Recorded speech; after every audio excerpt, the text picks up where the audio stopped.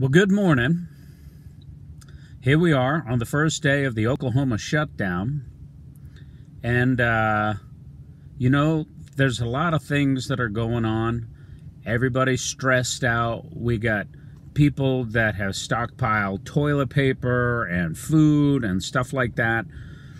Listen, if you're in a good place, help somebody else out this is the time frame when we find out who we really are.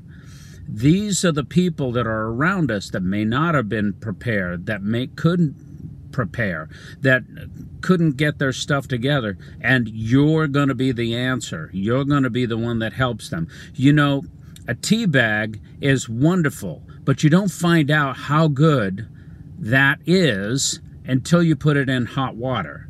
Once you put that tea in hot water, you find out how good it is. So today, be that for somebody.